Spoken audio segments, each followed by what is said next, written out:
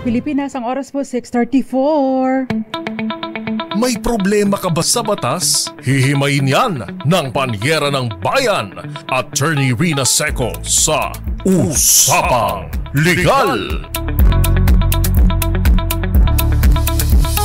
Usapang Legal. Usapang Legal. Magandang gabi Pilipinas. Ito pa ang programang Usapang Legal with Attorney Rina Seco. Para sa uh, DZRH, una sa Pilipinas, una sa Pilipino. Usapang Legal. Kumusta po kayo ngayong gabi? Medyo umulan kanina pero sana po ay hindi kayo nata-traffic sa daan. Hindi naman na uh, swelde kaya inaasahan natin na hindi ganoon kasikip ang uh, daloy ng trapiko ngayong gabi. Samahan niyo po ako hanggang 7.30 ng gabi. Maganda po ang ating tatalakayin bagaman at sa maraming pagkakataon, tinalakay na po natin ang tungkol sa annulment. Pero ngayong gabi, no, bibigyan po kayo ng tips kung ano ang dapat ninyong ihanda maliban sa pera kung kayo ay hiwalay na sa asawa at nag-iisip, nagbabalak, or maybe in the near future, gusto po ninyong ipa-declare na void o ipa-anal ang inyong kasal. Usapang Legal! Ayan. So, if you have questions, 0919-282-6485. At syempre pa, ang ating mga social media platforms sa YouTube, no? Ang ating DZRH uh, TV 4K live stream. Available din po ang DZRH Dos Compañeros Facebook page, ang DZRH News Facebook page, at syempre, ang DZRH News Television Facebook page. Usapang Legal! Live na live po tayo sa uh, tatlong uh, Facebook pages na yan. Kaya pwede po kayo magpadala ng inyong mga katanungan. Huwag po mahihiya or if not, pwede po ninyo akong i-private message at kung kakayanin po sa ating oras, tatalakayin po natin ang inyong mga katanungan. Usapang Legal!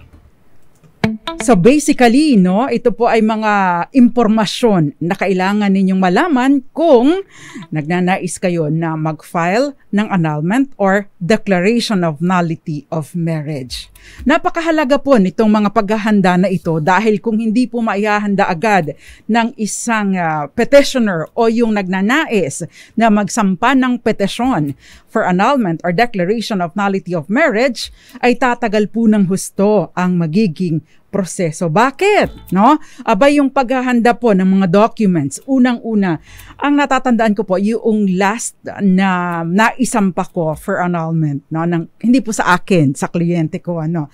Ay inabot po ako ng halos um, mahigit isang buwan at kalahati sa pagsusulat. Bakit? No? Bakit nga ba ganun tumatagal? Maliban pa po sa pagsusulat ng mga dokumento na kailangang i- i- i-submit sa korte, i-file sa korte, marami pa rin po kasi no, ng mga dokumento na kakailanganin na naka-attach doon sa petisyon.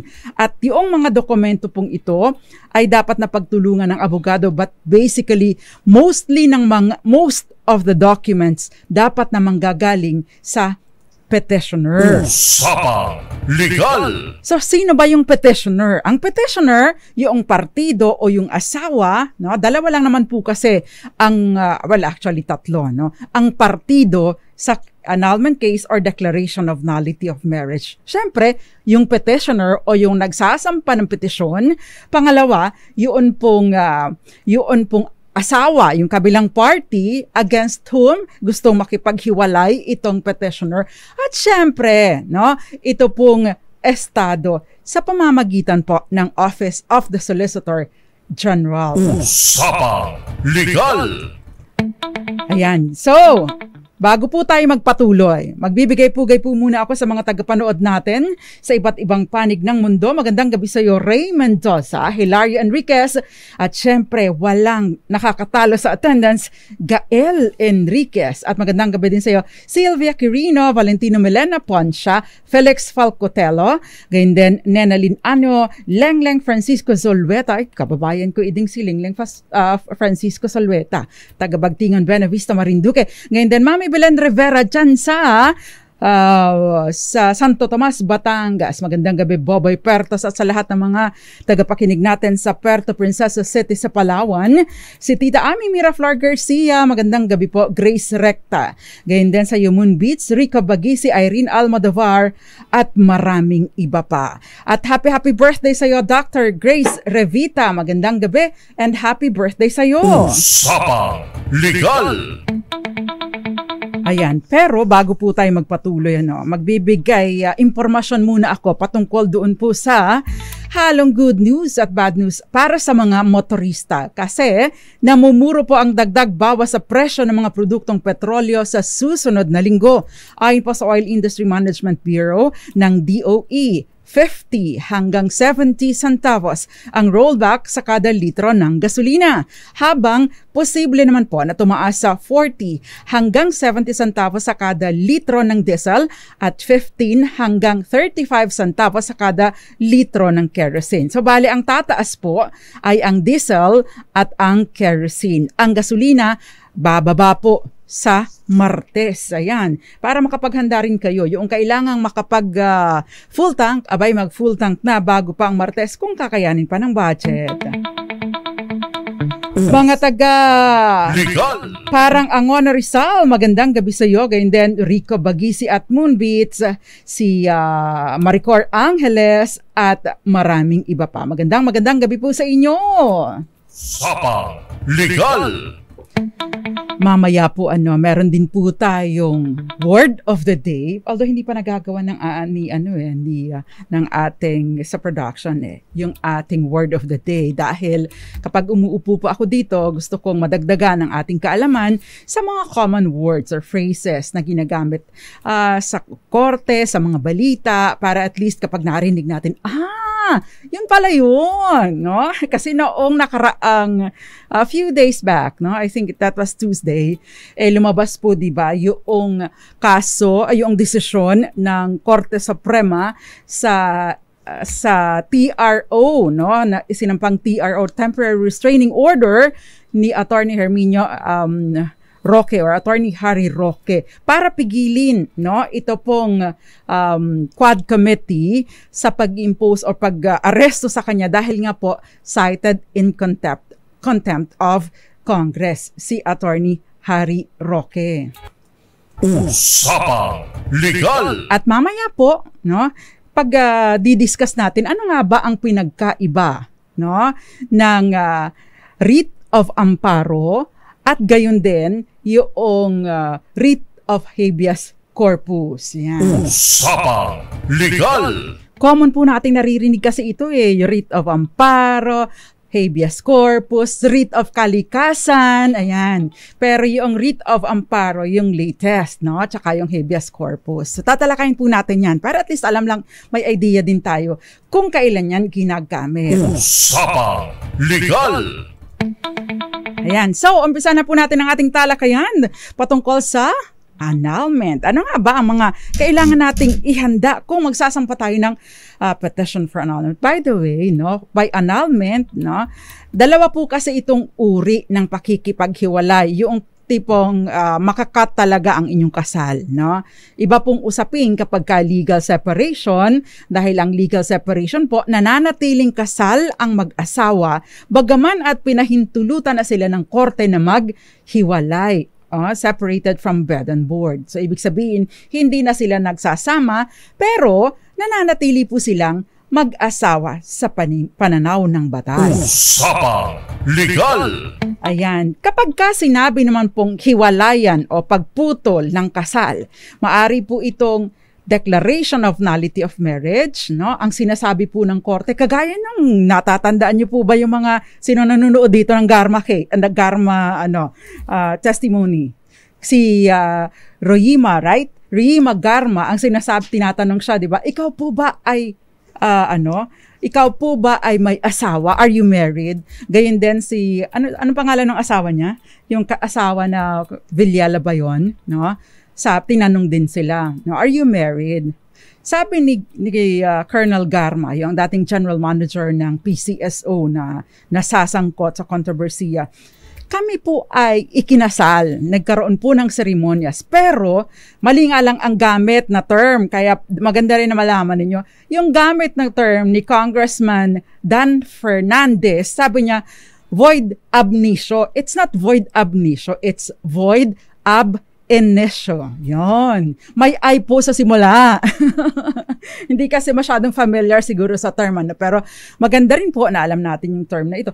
Void ab initio, ibig sabihin void from the very beginning. Usapang Legal! Ngayon, kaya nga po pag sinabing void from the very beginning, ang sinasabi po ng korte, parang hindi ka na rin ikinasal. Yes, nagkaroon ng mga seremonyas, pero no, dahil doon sa kakulangan o may mali, no?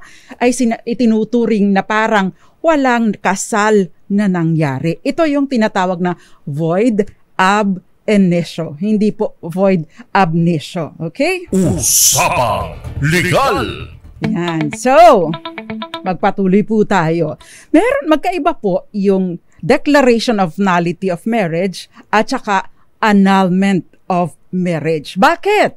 Yun pong annulment of marriage, ibig pong sabihin kasal kayo, valid ang inyong kasal, hindi ab initio, no?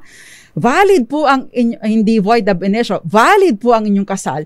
Pero dahil may depekto, no? Meron nagfo-fall doon sa mga binabanggit ng ating family code na uh, kumbaga eh, voidable ma- grounds for voidable marriage Aba, maari po kayong dumulog sa korte para sabihin na, Judge, saklolohan mo ako. Putulin niyo na po ang kasal ko kay XYZ dahil ganito. Ayan. So, yun po ang pagkakaiba nila. At, no, kapag ka po kasi void ab initio, ibig sabihin, petition for declaration of nullity of marriage, no, kapag ka po ganito, except doon sa ang ground ay psychological incapacity, illegitimate po nalalabas ang inyong mga anak. Bagaman, no? At doon sa period na ipinanganak ninyo ang inyong mga anak, ay maaring nandun, hindi pa na dideklara na walang bisa ang inyong kasal. Usapang Legal! Samantala, kapag, pa, kapag ka po sinabing voidable o maaring ipawalang bisa, ibig sabihin valid until annulled, eh ibig pong sabihin lahat ng mga naging anak ninyo during the period of cohabitation but prior to the declaration, uh, prior to the decision of the court, no? Eh, ibig pong sabihin silang lahat ng mga anak ninyo ay legitimate na anak. Usapang Legal! Bakit malaki ang epekto nito? Dahil sa paghahatian po ng mana, aba, eh di po ba binanggit na natin in the past na yung share ng isang illegitimate na anak ay 50% lamang ng katumbas no or katumbas ng 50% lamang noong uh, share ng isang lehitimong anak. Usapang Legal! Ayan. So ano nga ba, no? Attorney, may pagkakaiba po ba kung ito ay declaration of nullity of marriage or uh, annulment of marriage? Well, sa grounds, no? Pero yung mga kailangan po ninyo, no? Ay pareho lang din, no? Ang mga dokumentong kailangan ninyong isubmit sa korte. Usapang Legal! Ang tanong, attorney, meron po bang required number of years na hiwalay na kami para makapagsampa ako ng petisyon? Aba, kung ikinakasal kayo ngayon, pagkatapos ay bukas, nalaman mo na, ay, hindi pala, may ground pala ako, no? eh, paano pala, kasal na pala sa iba, no? Yung pinakasalan mo ay hindi pa uh, na, hindi pa ano hindi pa napapawalang visa or declared na void yung marriage no eh kinabukasan kahit kinabukasan nung kasal mo ay magsampa ka, wala pong issue yun. Usapang Legal! So for as long as may sapat na basihan, abay hindi po kailangang tumakbo ng ilang taon. In fact, no, meron pong yun pong tinatawag nating voidable marriage, eh meron lamang pong period kung kailan ito maisasampa. Usapang Legal! Ayan. So, pagpatuloy po tayo sa ating talakayan. Pero meron po muna tayong DZRH Malakas promo question. Ang tanong, kailan maaring ipaanal ng magulang ang walang pa, uh, na walang pahintulot sa pag-aasawa ang kasal ng kanilang anak? Take two! Kailan maaring ipaanal ng magulang na walang pahintulot sa pag-aasawa ang kasal ng kanilang anak? Dahil, alam niyo po ba, kahit ang magulang, Jeric, alam mo ba, no? Kung nagkataon na ikaw ay bata-bata, may asawa ka na ba?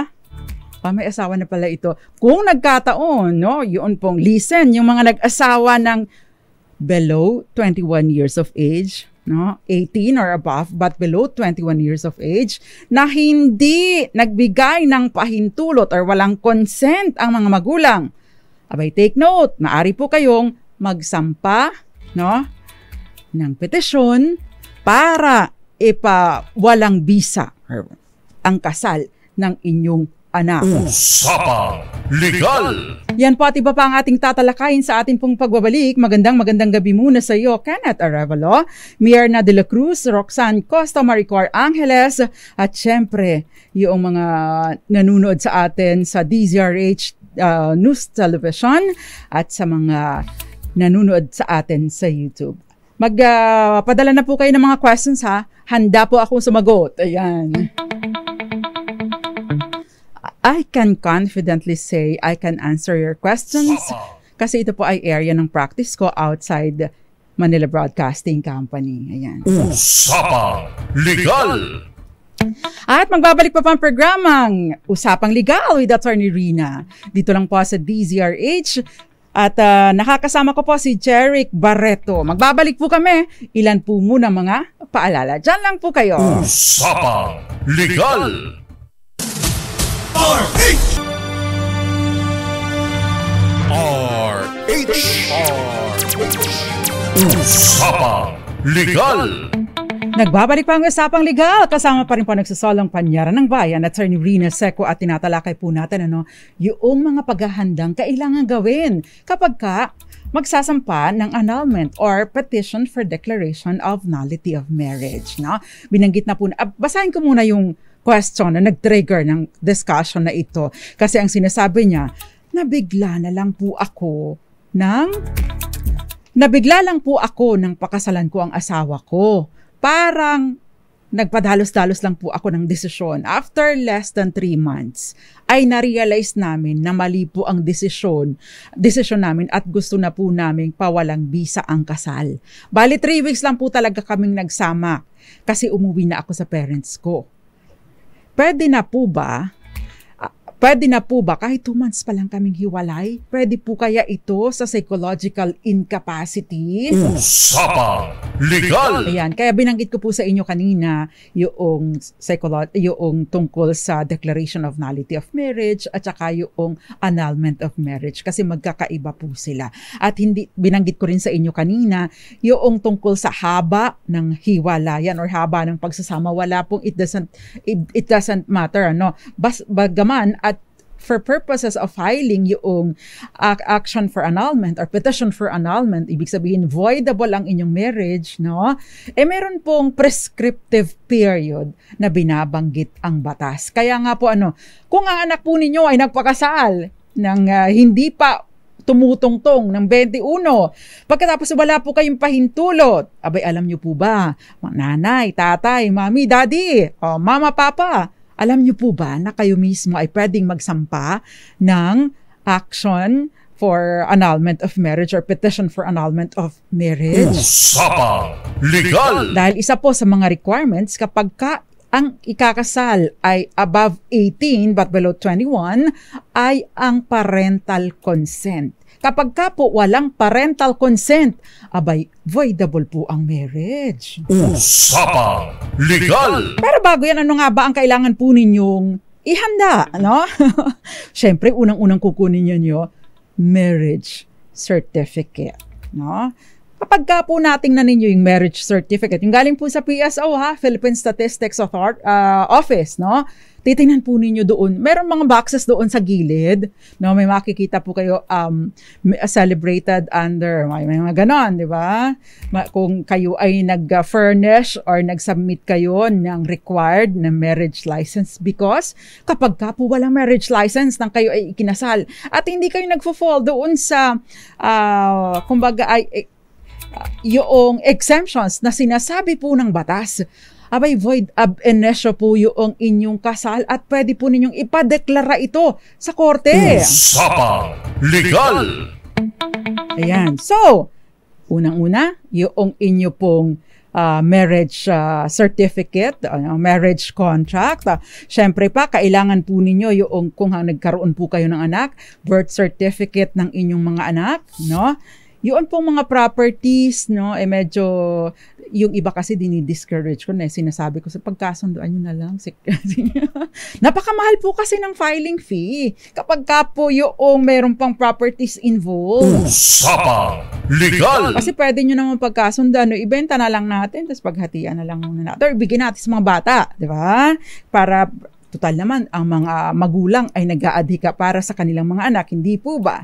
Siyempre, kailangan po ninyo yung complete address ng mga parties, yung house number, yung street number, yung barangay, purok or village, subdivision, zone, town, province, at no, yun pong yung uh, notarized certificate of residency issued by the barangay. And would you believe, pati po sketch ng address certified by the barangay. Kakailanganin po ninyo ito. Kaya dapat kilala niyo si si Cap, no?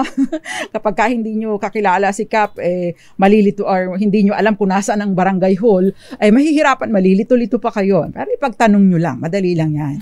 Okay, Siyempre, kailangan po ng yung mga patunay na doon nga kayo naka nakatira o kaya kung hindi man actual residence ninyo ito, pwede po yung binak uh, yung uh, binabalik-balikan ninyo, no? Pero dapat po recently lang, uh, kumbaga eh sa loob ng anim na na ano 'yon, tawag doon, na buwan.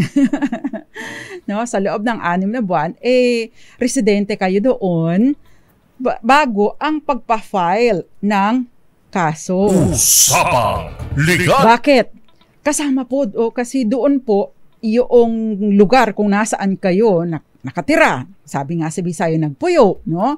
Doon po dapat maisasampa ang kaso to establish the jurisdiction of the court. Usapang Legal! At syempre, yun pong uh, patunay ng address na ito no dapat nakapangalan sa iyo kung ino ay lease contract no na at least 6 6 months old no yung kontrata ninyo.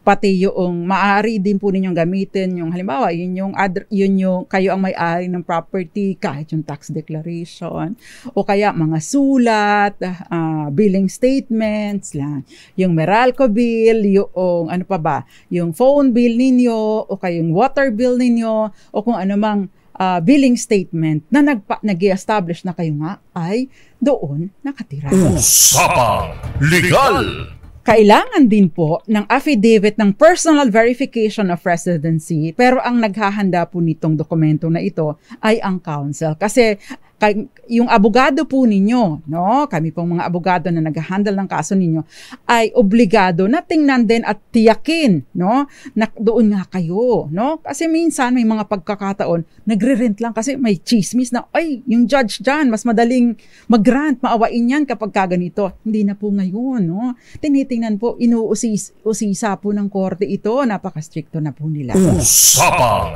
Legal! At syempre, ito po yung nagtatagal. Mali maliban sa pagsasam, pag uh, the draft ng petition, yun pong mga judicial affidavits no ng petitioner, ng psychologist kung kakailanganin man, o kaya ng psychiatrist, at yung mga corroborating witnesses. Anong ibig sabihin nito? No?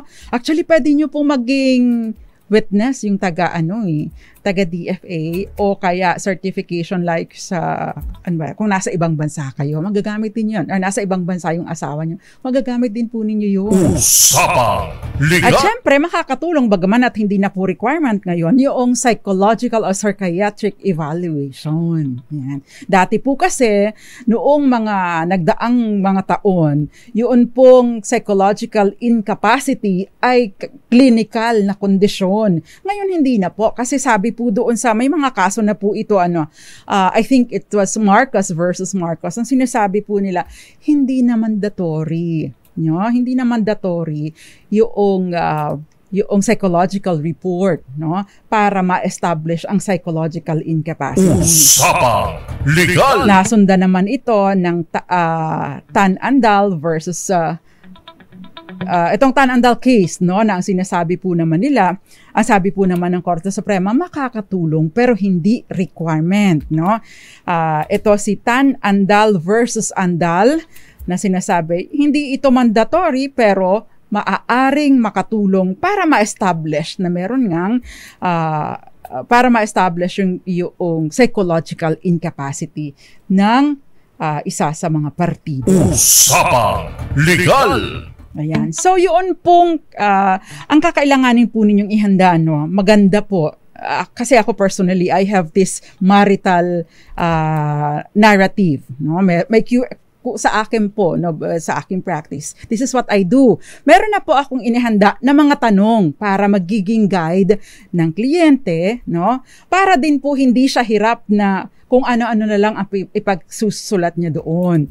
Para din po guided siya kung anong mga rele- relevant, mga importanteng impormasyon ang kailangan ko sa pag ano, sa pag-draft ng kanyang petition. Usapang Legal Yung iba po kasi ang ginagawa, ay kwento mo lang mula nang naghiwalay kayo, ah, mula nang nagkakilala kayo hanggang sa maghiwalay kayo, ikwento mo lang yung karanasan mo, no? Syempre pagka ganyan ay hindi mo alam kung ah, minsan syempre hindi naman lahat ay magagaling magsulat, ano? No, at saka yung iba ay syempre ah, nininervyos, nakakalimutan. So para makuha yung mga relevant na information, meron na po akong Q&A. And I hope your lawyer, kung halimbawang ah, meron po kayong ah, ganitong ku- kumbaga ikontrata na, no, arrangement, sana po ay may pro- provided na ganito para at least guided din kayo. Para din po hindi ano, hindi nag kumbaga it, par, talagang totoo you know, yung nandun sa inyong petisyon. Nahirap po kasi ano, pag hindi totoo yung nandun sa petisyon ninyo dahil paiikot-ikutin kayo ng tanong ng ah, prosecutor na i-assign ng Office of the Solicitor General. Usapang Legal Ayan. So, yun po ang mga kailangan ninyong ihanda maliban sa pera. Eh, ang tanong ni, tanong ni ah, Alan J. Bautista, eh, how much naman po magpa-anal attorney at ganto, gano, gaano katagal yung proseso? Okay? Yun pong how much ay hindi ko po masasagot ng diretsahan. Siyempre, depende po sa abogado ninyo, depende po kung abogado de campanilla, depende rin po kung nandun lang sa within the area yung lawyer ninyo. Kasi kung halimbawa po ano kukuha kayo ng lawyer sa Maynila say taga Tacurong City kayo abay medyo malaki po ang magagastos ninyo dahil sas ikakarga po sa inyo yung pamasahe kung kailangan po ng ah, mag-overnight stay you know. Eh, kasama rin po yun sa i-charge sa inyo. Usapang Legal. Kaya maganda po ano na magpatu syempre sa area ninyo may mga kakilala na kayo sigurong abogado or meron kayong mga kakilala na may kakilalang abogado eh pwede po ano pwede po kayong magpa-refer sa kanila Usapang Legal Ayan, ma- pwede din po ninyong i-double check kung totoong abogado kasi marami na rin pong nabiktima ma, mga nagpanggap na mga abogado na hindi naman talaga abogado. At ang sasabihin, isa po sa mga palatandaan ano, na, na medyo may kalokohan ang ang nagsasabing abogado siya na hindi ako bahala, sure ito. O kaya no appearance, wala pong ganito, no? O kaya naman ang sasabihin po eh may kakilala ako sa korte, akong bahala sa iyo, no? Hindi po ganito dahil stricto po ang korte. Usapang Legal Lalo na po ngayon, no? Tapos ang tanong eh hanggang gaano katagal, no?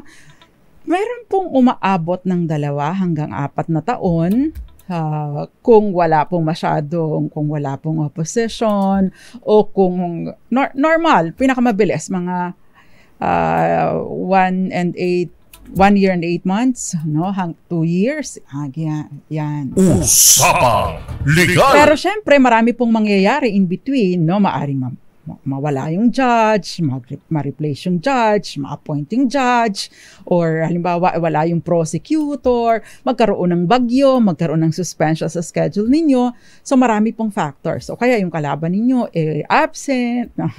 Tsaka, ang pinakamatagal po kasi sa, eh, sa paghihintay, ano, yun pong appointment ng prosecutor no yung idinidesignate po ng Office of the Solicitor General na siyang kakatawan sa estado. Kasi ang uh, ang labanan po talaga no unless merong issue po talaga sa mga properties and custody ng children at meron pong private na counsel yung yung uh, other party eh ang labanan po talaga ay sa pagitan ng petitioner at ng uh, appointed na, na prosecutor dahil pinangangalagaan po ng Estado ang pamilya at ang marriage. Usapang Legal!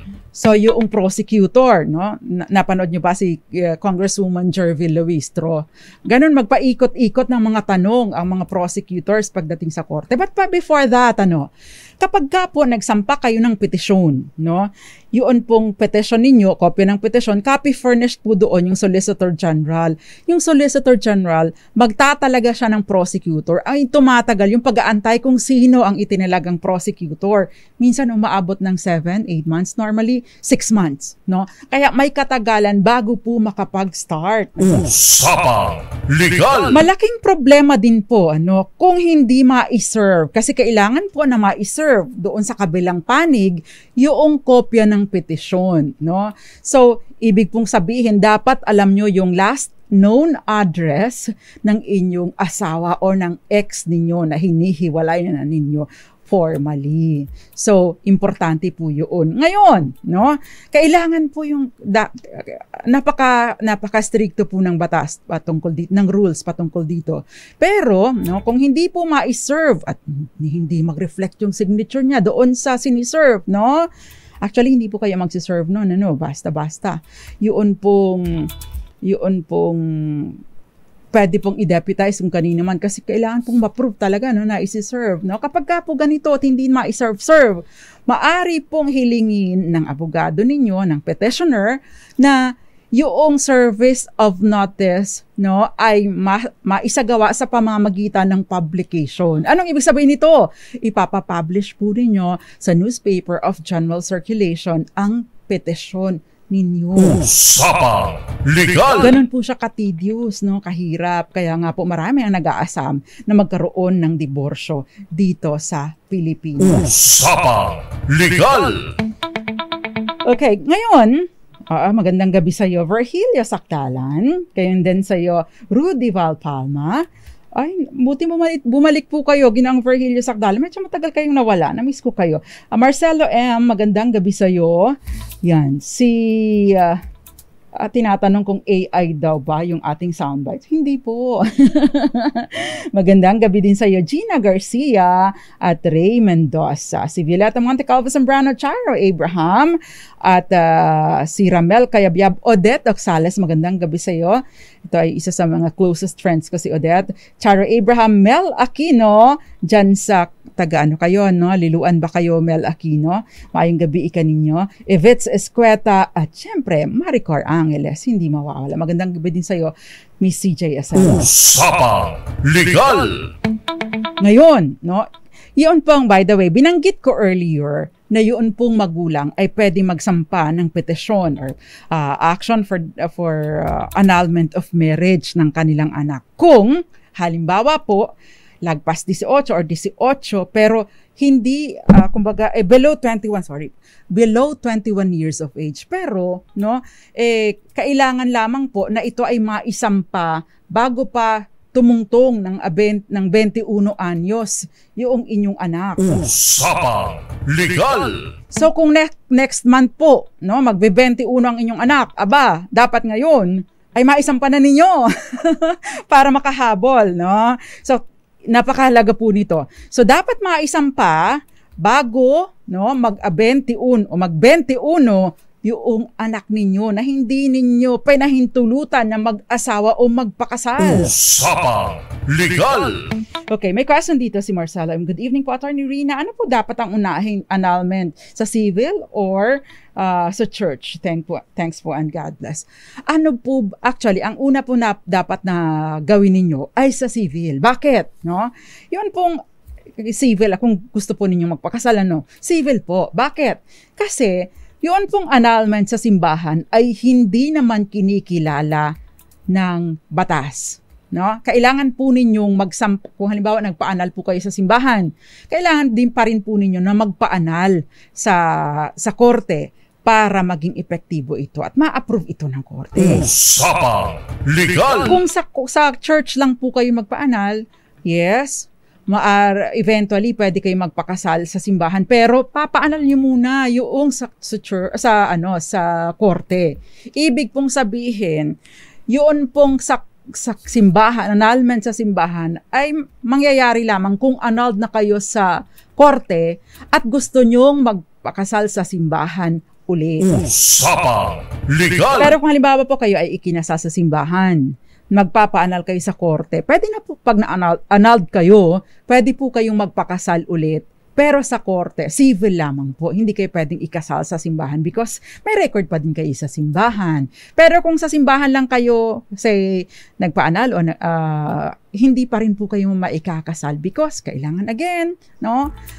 Kailangan, eh kayo po ay maanal muna ng korte. Usapang Legal! Ayan. So, paano naman po kung parehong OFWs na hindi na po nagsasama, paano po mauumpisahan? Ayan.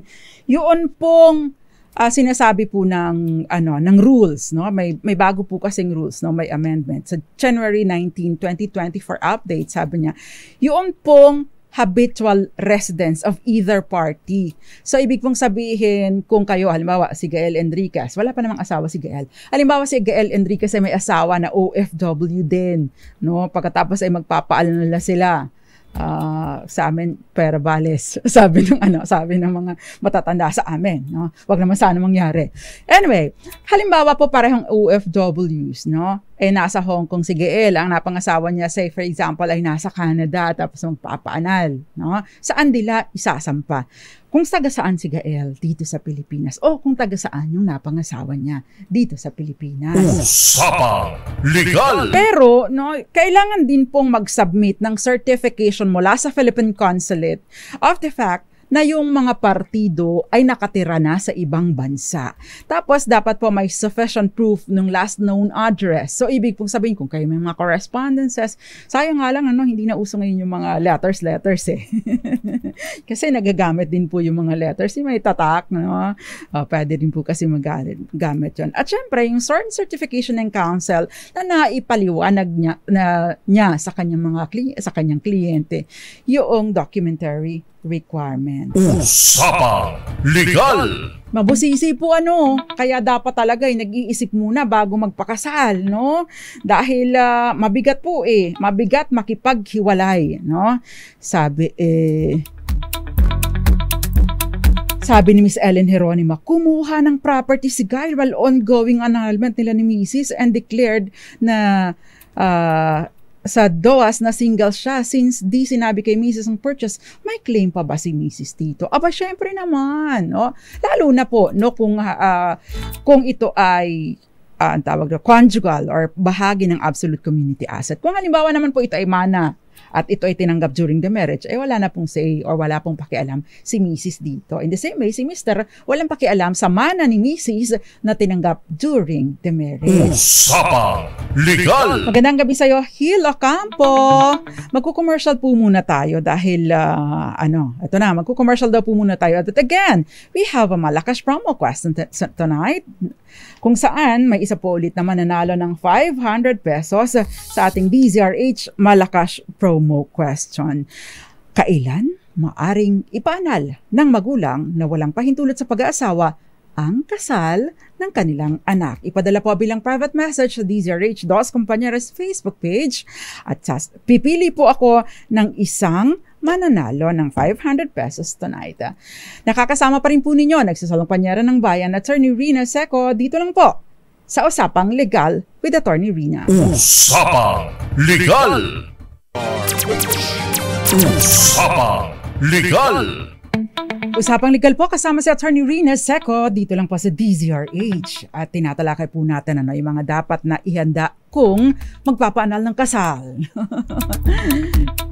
okay, so kanina ay binanggit ko po yung uh, magulang na pwede nilang ipaanal ang kasal ng kanilang anak no? Na, na nagpakas ng nagpakasal ng walang pahintulot. Gayong sila ay below 21 years old pa. Kasi requirement po ng batas no? Na ang magulang ay merong pare, merong consent sa pag-aasawa kung ang kanilang anak ay 18 na pero hindi pa umaabot ng 21. Ibig pong sabihin ang magulang no na uh, ang magulang ay maari nilang ipaanal ang kasal ng kanilang anak no, na hindi nila binahig, binigyan ng pahintulot hanggat hindi pa ito umaabot ng 21 years old. Usapang Legal! Yun pong sinasabi na if-file within 5 years ay kapag ka po within 5 years from the attainment of 21, kung ang magsasampa po ng uh, annulment ay yung mismong partido, yung uh, yung ikinasal na walang parent, walang consent ang kanyang mga magulang. Usapang Legal! Pero kung magulang po ang magsasampa ng petisyon, ay bago po mag-21 yung kanilang anak. Meron pong question dito, pwede po ba, uh, kung halimbawa kami po ay pareho ng may kinakasama, pwede pa po ba yun sa annulment?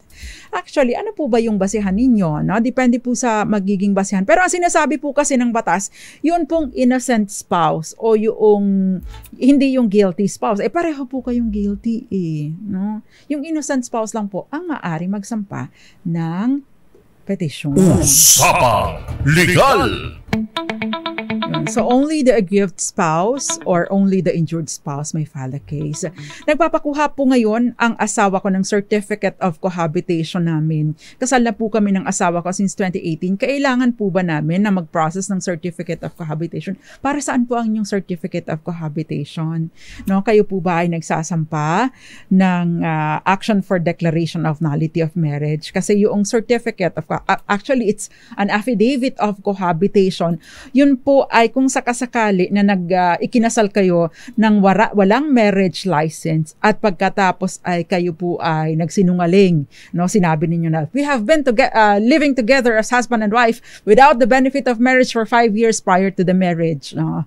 Yun po ay pwedeng maging ground for declaration of nullity of marriage because in essence no the reason kung bakit po uh, pinahihintulutan na walang marriage license kung limang taon na kayo nagsasama bilang mag-asawa at wala namang hadlang para magpakasal kayo.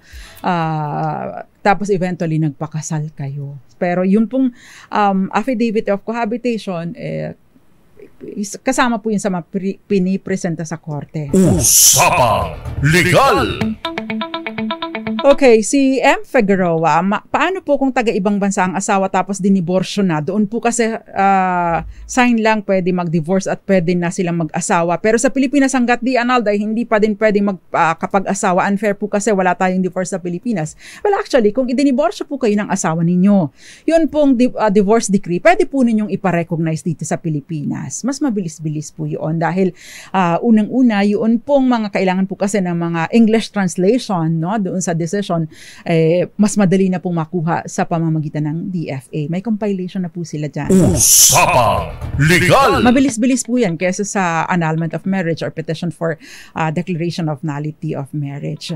Sabi niya, uh, si Normaline, paano pag walang evidence na may dalawang beses na nagloko ang asawa, sa una siya mismo ang umamin na may babae siya.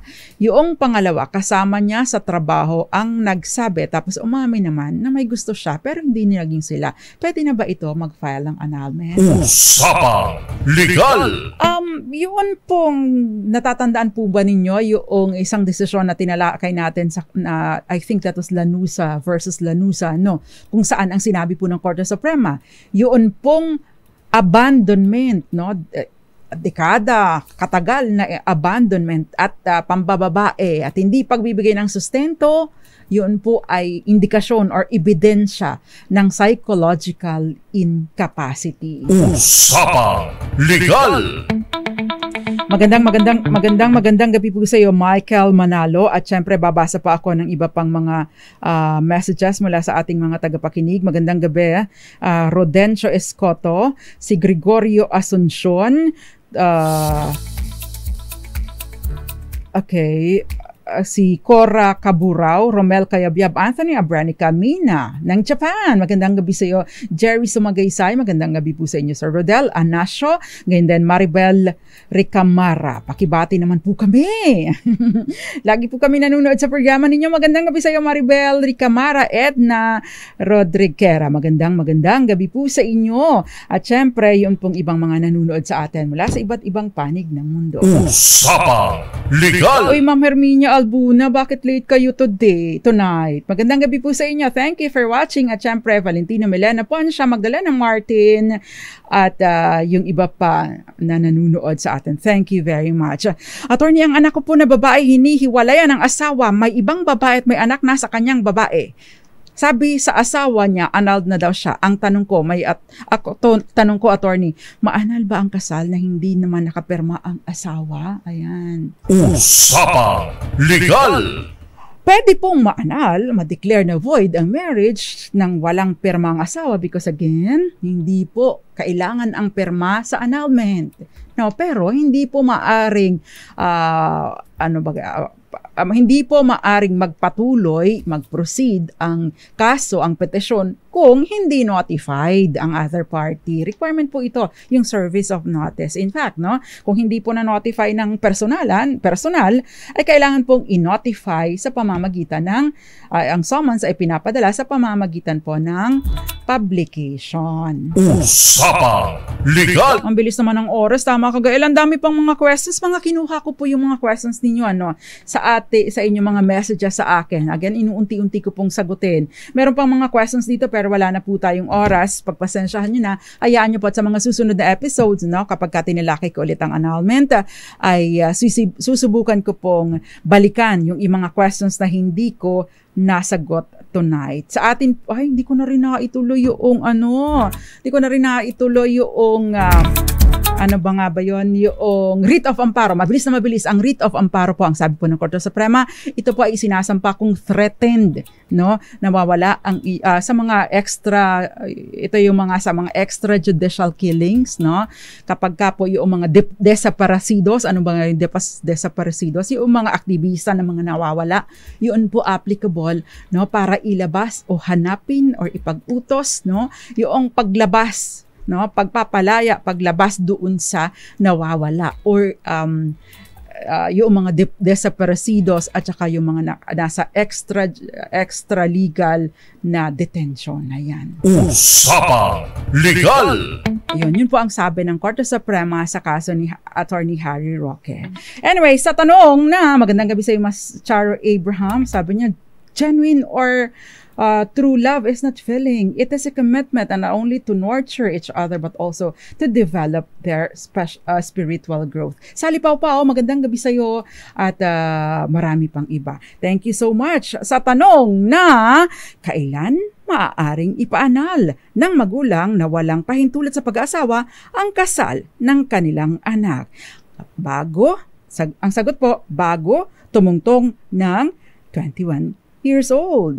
Congratulations sa iyo, taga Binangonan Rizal, nanalo ka ng 500 pesos. Jerry Cano, congratulations sa iyo. Nasaan na ba yung clap? Ayan. Usapan Legal! Magsama-sama po ulit tayo sa lunes. Same time, same station same social media platforms. Nakasama ko po si Cherry Craval Barreto. Ang tabayan pa susunod programa, programang Lunas at Lunas Extension. Dito lang pa sa DZRH. Nakasama po ninyo attorney, ang panyera ng bayan, Attorney Rina Seco para sa DZRH. Una sa Pilipinas, una sa Pilipino. Happy weekend po sa inyong lahat. Usapang Legal!